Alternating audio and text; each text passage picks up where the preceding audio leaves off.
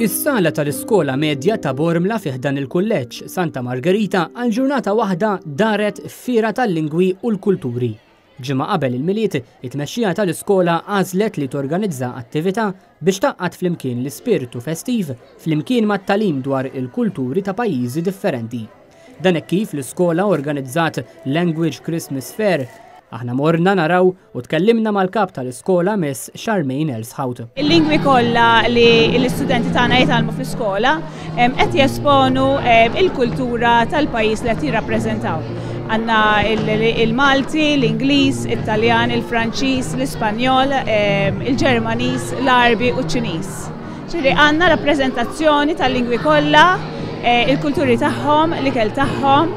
Din hija waħda minn sensiela ta' attivitajiet li l-iskola qiegħda torganizza minħabba li s-sena d-dieħla hija s-Sena Ewropea tal-Wild Kulturali. It-tfal kollha f'din l-iskola medja għandhom bejn ħdax u tnax-il sena u huma fil-Year Seven u Year Eight, jiġifieri snin li tradizzjonalment huma magħrufa bħala il-Form One u Form Two. Fl-iskola titħaddem sistema ta' co-ed, jiġifieri t-tfal huma mħalltin bejn subien u bniet.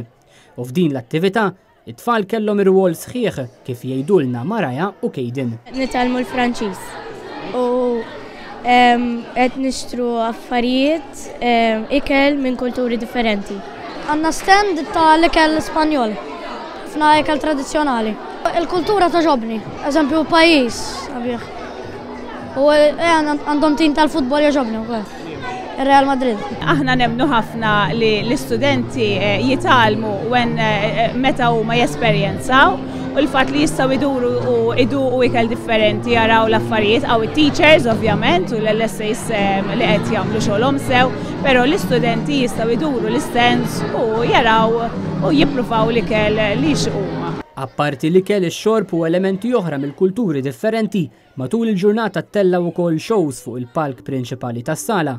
Din kienet l-ewwel sena li f'din l-iskola ġiet organizzata attività ta' dan it-tip.